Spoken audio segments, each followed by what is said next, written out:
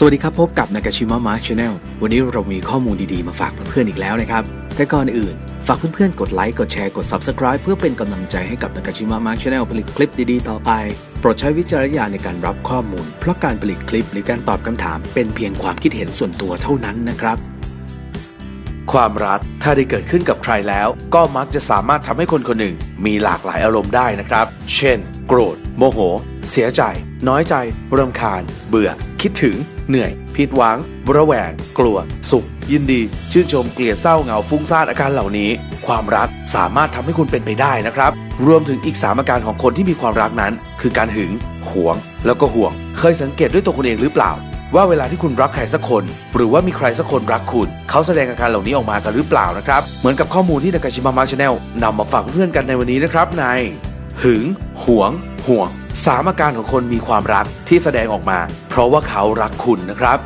มาเริ่มกันที่ 1. หึง หึงคืออาการเวลาที่มีเพศตรงข้ามเข้ามาเกาะแกะ หรือเกิดจากตัวคุณเองนั่นแหละ แอบเลคนอื่น หรือชื่นชมเพศตรงข้ามให้แฟนคุณฟัง หึง เรียกได้ว่าเป็นอาการขั้นต้นของคู่รักเลยก็ว่าได้นะครับ ประมาณว่าอย่าได้เห็นหรือว่าอย่าได้รู้กันเลยทีเดียว ข่าวที่เราเห็นกันตามหน้าหนังสือพิมพ์ เกี่ยวกับเรื่องพิษรักแรงหึง ทำให้เกิดอันตรายมาแล้วหลาย ๆ คู่นะครับ ดังนั้นก็ขึ้นอยู่กับการทำตัวของทุนเองว่าทำให้ฝ่ายไว้ใจได้หรือเปล่า หรือว่าอาจจะโดนจับได้ทุกครั้ง แล้วทะเลาะกันทุกทีสำหรับผู้ชายแล้ว อาการหึงเพียงเล็กน้อย จะทำให้เขารู้สึกว่าตัวเองมีความสำคัญ ไม่ใช่ทิ้งๆคว่างๆจะไปกับใครก็ไม่สนใจ จนทำให้ฝ่ายชายเกิดคำถามว่าคุณรักเขาจริงหรือเปล่า แต่ถ้ามากเกินไปก็จะเหมือนกับเพลงจิจะนะครับ เพราะว่าเรื่องเล็กนี่แหละ มันจะกลายเป็นเรื่องใหญ่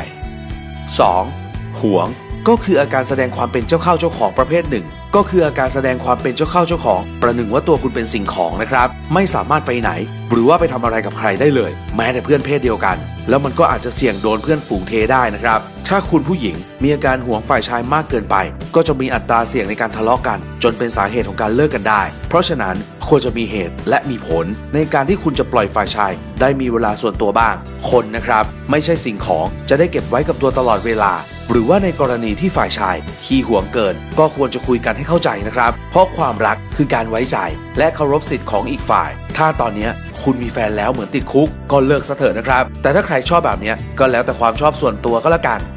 3. ห่วง ห่วง คือขั้นสูงสุดที่แสดงถึงความรักที่แท้จริงของคุณ หลุดจากอาการหึงและก็ห่วงนะครับ กลายเป็นความห่วงใยใส่ใจอีกฝ่ายแทน ห่วงเวลาที่เขาป่วยไข้ห่วงเวลาที่เขาเดินทาง ห่วงเวลาที่เขามีปัญหา ห่วงเวลาที่เขาเครียด ห่วงเวลาที่เขาทุกข์ใจ ห่วงเวลาที่เขาเสียใจ ห่วงเวลาที่เขาไม่สบายใจ การแสดงความห่วงใยสื่อได้จากคำพูดและความรู้สึกนะครับ ในการถามสารทุกข์สุขดิบถึงเรื่องที่เพิ่งผ่านพ้นมา คุณยังจำได้และถามไถ่ถึงมัน เช่น อาการเจ็บปวดที่เขาเคยพูดถึง รวมถึงความห่วงใยที่ส่งต่อไปถึงครอบครัวของอีกฝ่าย เรียกว่า ถ้าคุณเป็นคนแบบนี้แล้วก็ได้ใจอีกฝ่ายไปเต็มๆเลยนะครับ